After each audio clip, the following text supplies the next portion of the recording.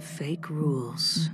There's no doubt that the notebook can cause heart attacks and control its victims to a degree. As for burning it or tearing it up, the notebook still exists, and there's no way to confirm the rule one way or the other. That means.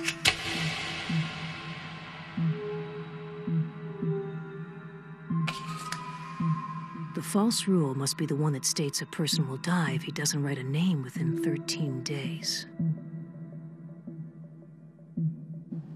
Giovanni, please set up a connection to L. Yes, sir.